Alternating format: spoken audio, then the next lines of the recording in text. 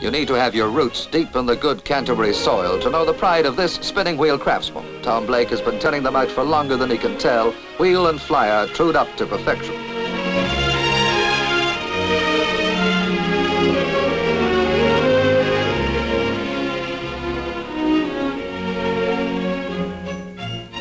It's not much more than 150 years ago that the treadle appeared, leaving both hands free to twist the fibre.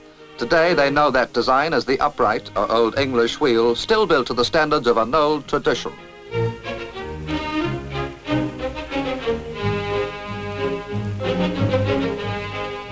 Right down as far as great-grandmother's days, the art of spinning was carried on by young women.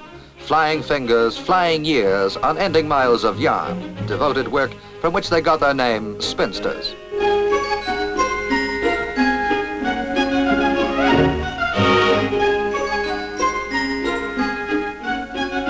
Men wove the cloth while their women folk spun. Every piece of cloth came from yarn spun in this way, and the looms are still being made in the workshops of this famous Kentish firm, which caters for a growing export trade. It's a Kentish footloom they're using. They're being taught by 19-year-old Joan Hill. They talk of things like reeds and heddles, but if you know how to darn, you know how to weave. They'd maintain it's as simple as that. So from patient work come rugs, folk weave, even silks. Get father on the job at home.